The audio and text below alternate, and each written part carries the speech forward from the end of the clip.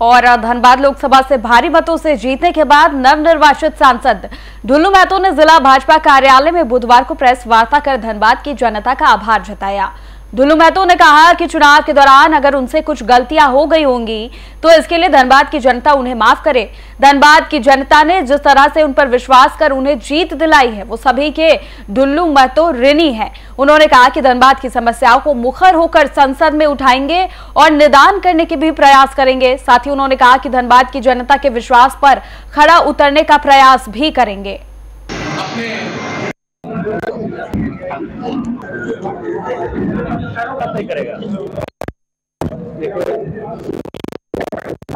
सबसे पहले तो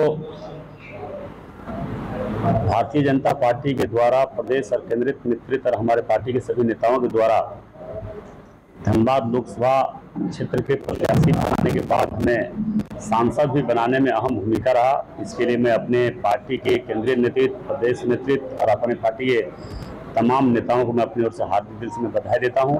क्षेत्र को विकास के क्षेत्र में नई ऊंचाई तक पहुँचाने में अहम भूमिका आप लोगों के साथ साथ क्षेत्र के तमाम देवतुल जनता का आशीर्वाद, सहयोग मिले और धनबाद को हम आगे बढ़ाने में हमें हर तरह का सहयोग मिल पाए। मतदान के दौरान सभी लोगों ने हमें लगभग 22 से 23 लाख मतदाता हमारे भाई बहन हैं। सभी लोगों ने किसी न किसी रूप में अपना सहयोग, साथ आशीर्वाद देकर धनबाद लोकसभा क्षेत्र का सांसद के रूप में चुने।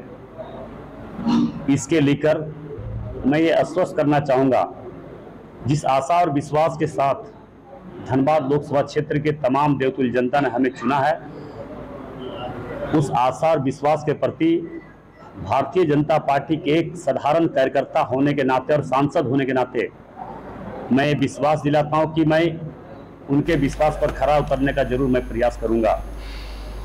और